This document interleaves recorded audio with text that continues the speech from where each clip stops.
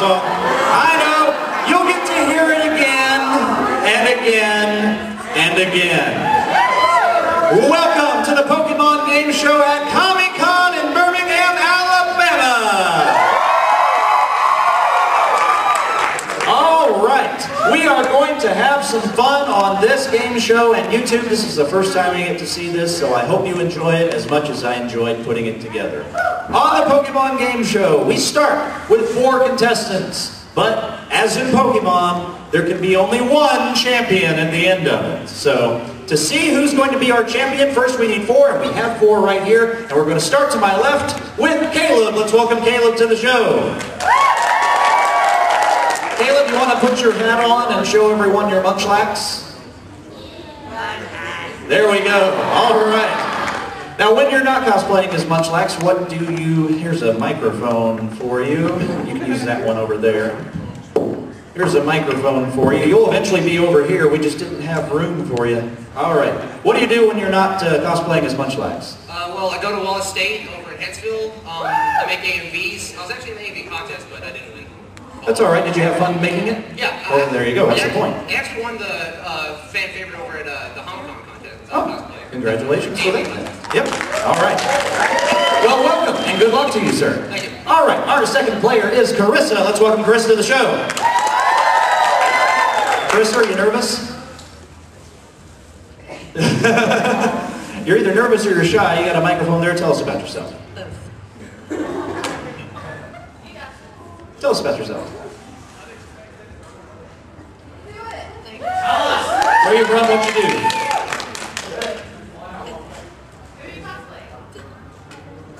Um, I went to, in, this is actually my second con. Um, I went to my first in this past anime weekend in Atlanta. I was there. Did you enjoy it? Sorry to interrupt, we're just having a conversation. With uh, Hatsune Miku. Cool. Basically, I'm obsessed with Vocaloids. As you can see, Homestuck, Pokemon, and animes. Well, welcome to you and good luck.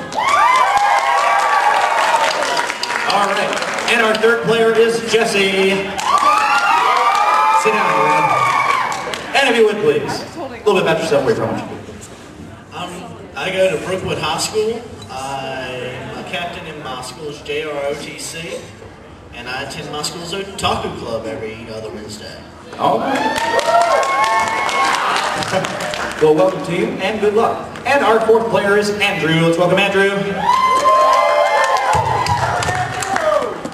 Hey, I'm Andrew. Um, I go to UAH up in Huntsville. Um, like to watch anime, play video games, go hiking with my beautiful girlfriend in the audience. Oh, all right. Oh. And we had Valentine's Day just now, so that's appropriate. Oh, okay. So, before we explain how to play the game, we're going to start with a toss-up question. So, fingers on buzzers, get ready to ring in. It's the giant red button. That's what rings in, all right? All of our questions are going to be either Pokemon questions for trivia, or they're going to be Pokedex entries. I will read you a Pokedex entry, and you'll tell me what Pokemon we're talking about. We're going to... Well, there you go. Well, we're going to start. We're going to start with this trivia question. So, ready to go? And audience, please do not help over the course of this game at all. Don't call out any numbers. Don't call out any answers. Let the contestants play the game. That's right. First question. Every adventure has its beginning. In the original games, what town do you start? All right, and that's Jesse. In the original games, you start in Pallet Town. What day do you start your adventure? Pallet Town is the right answer! All right, our first round is called Super Effective. Here's how it works. There are 30 numbered squares. Behind each square is the name of an attack. I'm going to show you a Pokemon, and you must find a special attack that is super effective. You don't need to know, you just have to remember. If you find an attack that's super effective, you score a point. The first three players to score two points move on to the next round. All right? So, you get to go first, Jesse. Here's your first Pokemon. It's Zubat. Find an attack that is super, there's a lot of them. Find an attack that is super effective against Zubat. Call out a number. Number five. All right, number five. Let's see what's behind five. Avalanche, which is ice, which is super effective against flying. All right, so that will lock, and you will score your first point. If you score one more point, you will move on to the next round. All right? We will move on to our next question before we reveal the next Pokemon. Get ready. In most games, how much is a regular Pokeball? And that's Jesse. A regular Pokeball costs 200 Poké Dollars. That is the right answer.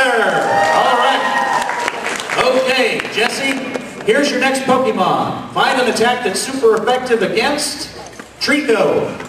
I would like to pick square number 15. All right, number 15. Let's see what we got there. Zap Cannon, that is not super effective.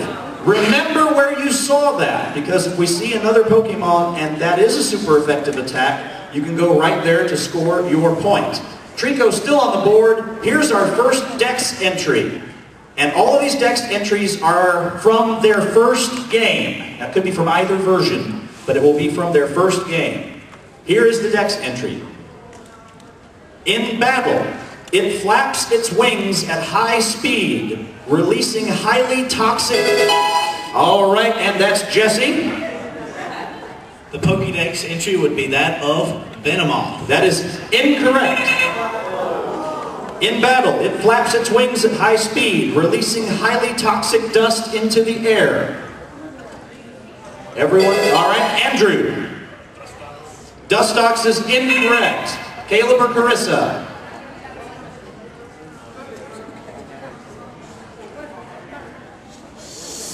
Time. Audience. Butterfree is the right answer. All right. That's right. Okay, well that is the next entry from Pokemon uh, Red or Blue. It's one of them. Okay, next question. What character whose name is one letter is a main opponent? Caleb. The answer is N for Pokemon Black and White. And you just finished the question. You gave me the right answer. N is what we were looking for. All right, Caleb.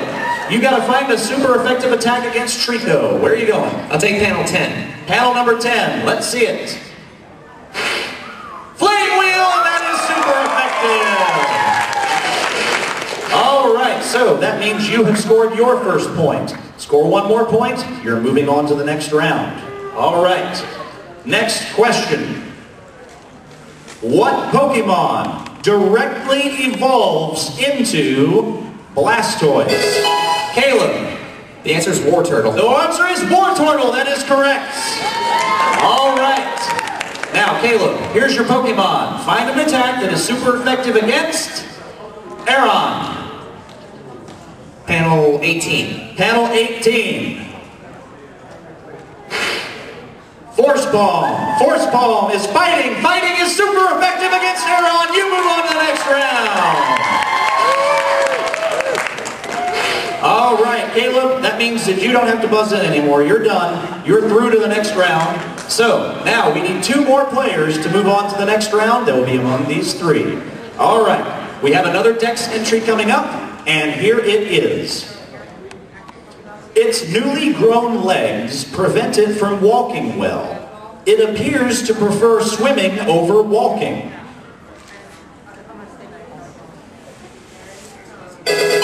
All right, Jesse, time to take a shot. Would it be Poliwag? It would be Poliwag.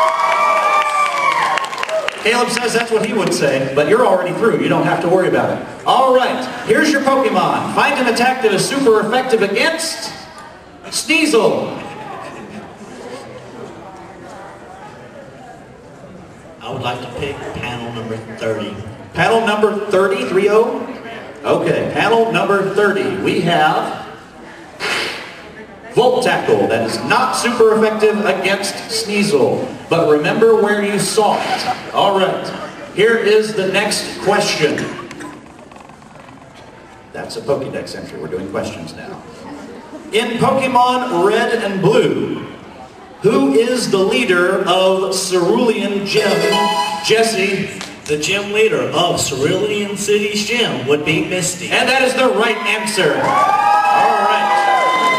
Still looking for an attack that is super effective against Sneasel. Where are we going? I would like to pick panel number 22. Panel number 22.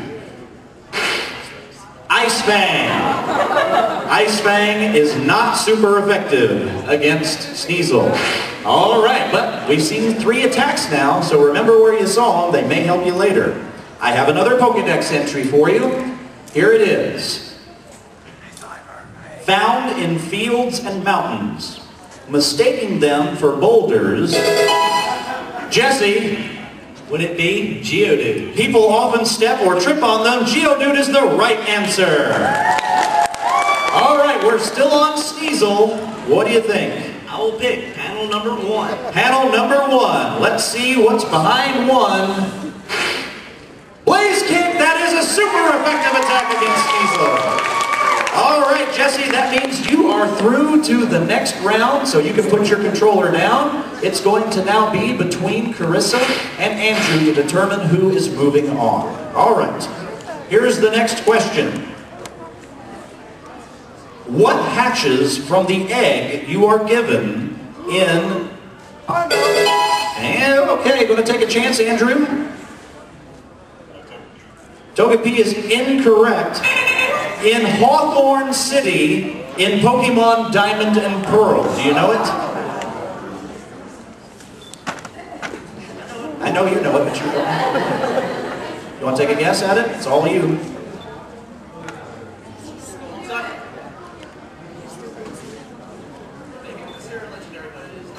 All right, time's up, uh, audience. Happiny is the right answer. All right. No. Next question. If it is 3 p.m., what Pokemon do you get when your Eevee levels up at maximum happiness? Carissa, that is incorrect. Umbreon is incorrect. At maximum happiness, what do you want to take a guess?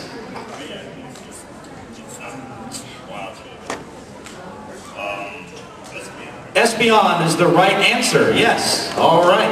Let me ring you. Let me ring you in, so we can actually give you credit for it. Okay, Andrew, you've got it. You are looking for an attack that is super effective against Vaporeon. Oh, where do you think we might find one? Number 30. That sounds good to me. Number 30 is Volt Tackle. That's super effective. All right, Andrew, one point for you, one more, and you are through to the next round. All right, next question, let me lock that one in, and it's going to be another Pokédex entry. This could determine who moves on. A sweet aroma gently wafts from the leaf on its head. It is docile and loves to soak up the sun's rays. Andrew, Sunflower is incorrect. Do you want to take a guess? Chikorita is the right answer.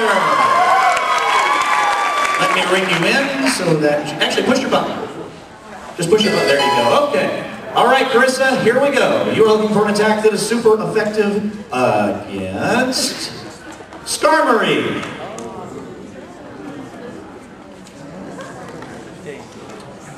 I think we may have seen one. Do you remember?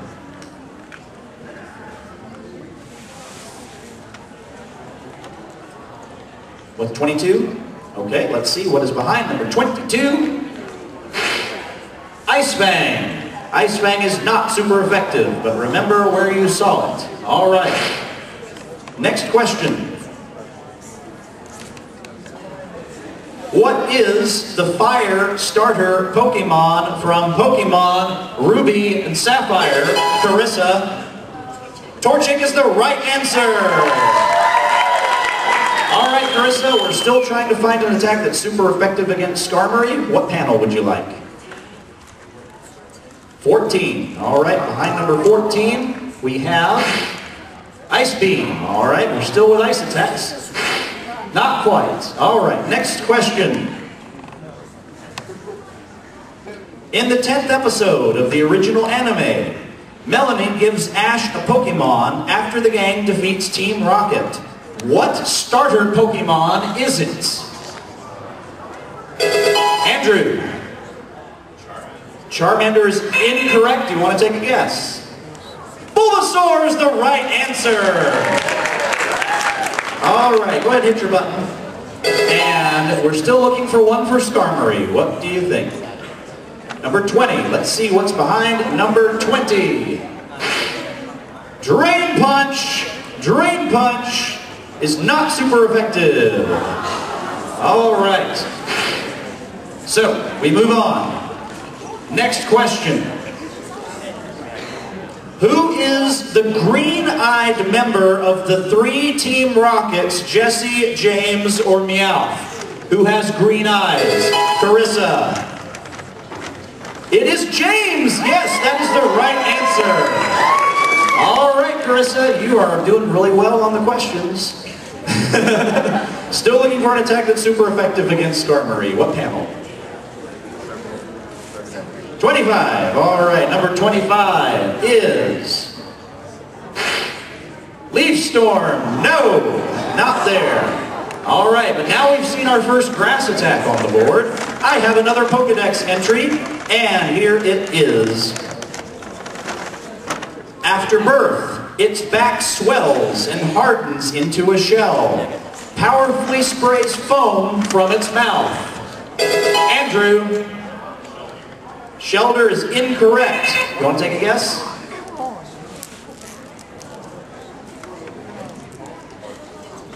Kabuto is incorrect. Audience. Squirtle is the right answer. All right. Next question.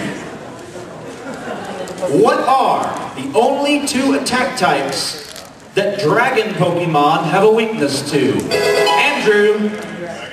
Dragon and Ice is the right answer. All right. Skarmory, what do you think? Number nine, number nine, number nine. No, Leaf Blade. All right. We're revealing a lot of things here. Unfortunately, we're stuck. Here we go. Next question. On the National Pokédex, what number is Mew? Andrew. 151 is the right answer. Good job. All right, Andrew, we're still looking for one. It'll put you through to the next round. Seven. Let's see. Number seven. No! Giga Drain. Well, we know where all the grass attacks are now. Okay, next question. In Generation 3, what corporation is based in Rustboro City? Andrew. Team Magma is incorrect. Do you want to take a guess? What's that? No, no, Aqua is also incorrect. Audience. Devon Corporation is the right answer. All right. We are getting close to the end of time for this round. So right now, if the round were to end, Andrew would be moving on. We will have, how many more questions have we got? We have a total of seven more questions left in this round. If we don't have a winner by then, the, game, the round will end. Here we go. Next question. It's a Pokédex entry. Their shapes look like hieroglyphs on ancient Andrew. Unown is the right answer. All right. Here we go, Andrew. Eight. Let's see if we can move on to the next round. Behind number eight, we have Dive. No. All right. Here we go. Another Pokedex entry. Here we go. When darkness falls, the rings on the body begin, Carissa, begin to glow, striking fear in the hearts of anyone nearby. Umbreon is the right answer. All right, Carissa, where are we going? Eleven? Oh, seven. Number seven. All right, for number seven. She said 17? Did you say 17? Okay. Thank you. 17. Cross chop. No. and by the way, seven is still grass. Pokedex entry. A legendary bird Pokemon said to appear to doomed people who are lost in icy mountains, Carissa. Articuno is the right answer. All right, Carissa, where are we going? What's that? Do you want seven? I've got to take that. All right, number seven is still Giga Drain. That's still grass. Okay. Here we go. Moving on. Next question. Who do you help catch a Ralts in Pokemon, Carissa? Wally is the right answer. All right, Carissa, where are we going?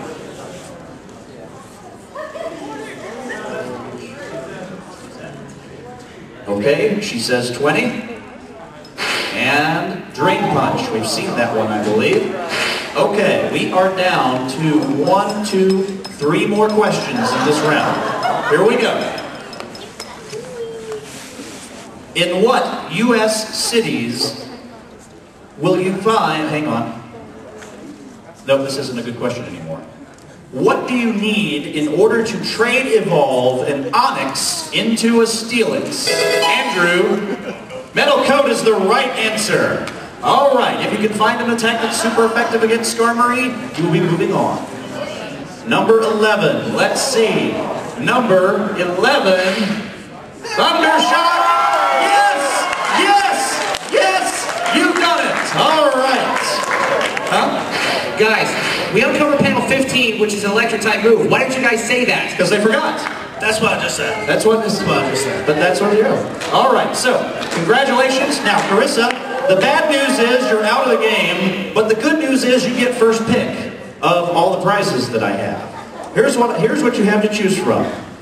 You have a still shrink wrapped whoa shrink wrapped stylus holder from Pokemon Diamond and Pearl. You could choose the Giratina, Giratina you could choose the Ho-Oh, right there. That, is, that could be yours. You could choose an actual stylus, the Palkia stylus from Diamond and Pearl. Or you could take the bag that all those things came in that has the Pokemon Heart Gold, Soul Silver. Which one would you like, Carissa?